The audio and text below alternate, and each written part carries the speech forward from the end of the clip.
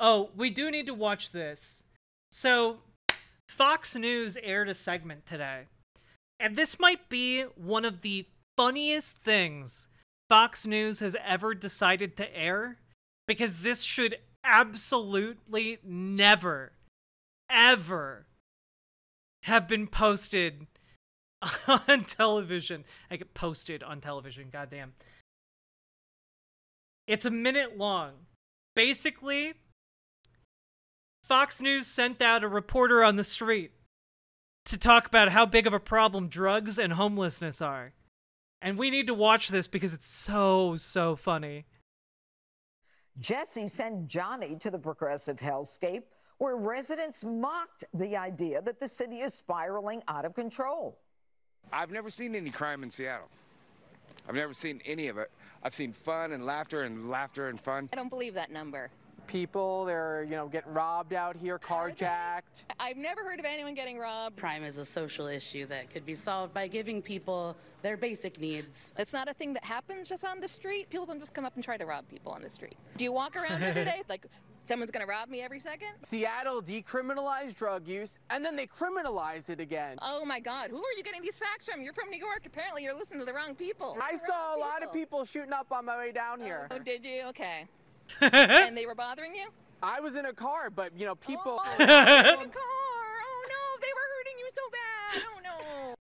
Jesse sent Johnny to the progressive health. oh, you you saw people doing drugs? Were they bothering you? Oh, I was in a car. Oh, you were in a car. They weren't bothering you. You were in a car. Oh god, I I love it. They're they're just like going around. Hey, have you seen crime? You live in this homeless area. Nah, I ain't, I ain't never seen crime. This place is great. what about you, ma'am? Have you ever seen crime? Nah, nah, I'm, I'm good. I'm, I just walk around and do my do my day. like, but what about all the crime though?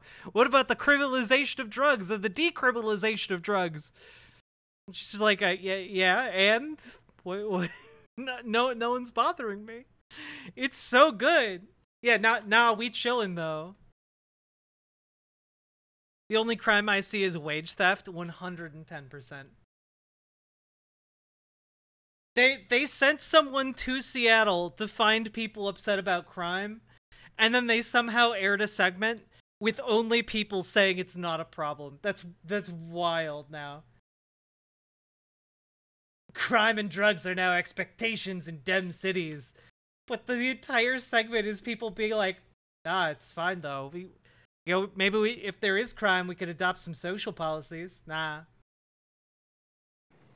And they were bothering you? I was in a car, but you know, people. Oh, no, people you're in a car. Oh no, they're so bad. Oh no. Jet. Dude, dude, even the reporter, even the reporter in this See, bit, They're bothering you? Even in the report, even this reporter is laughing because he knows he's full of shit. I was in a car, but you know, people. Oh no, you're in a car. Oh no, they were hurting you so bad. Oh no. Jesse oh god. Amazing. Give the, give that lady her own show. Give give give her a microphone. I want to see her interview other people from Seattle.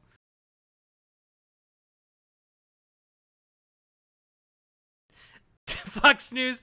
Yeah, look, they they had to send God's twinkiest warrior to Seattle, okay?